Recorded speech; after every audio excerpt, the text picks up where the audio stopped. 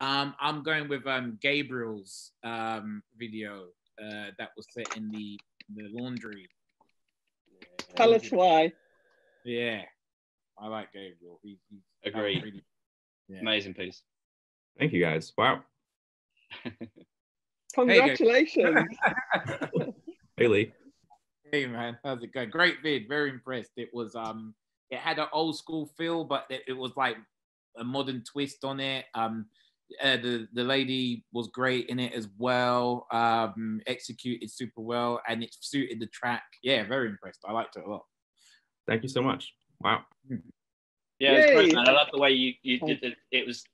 It wasn't just a sort of style piece. It wasn't just like you know you, what you expected and stuff. The way you did the, the concept with it, you know, with the clothes coming out as soon as the clothes started coming out the washers and stuff like that, really fucking great. And then all those little transitions were really nice. So, yeah, bravo. Thank you guys. Wow.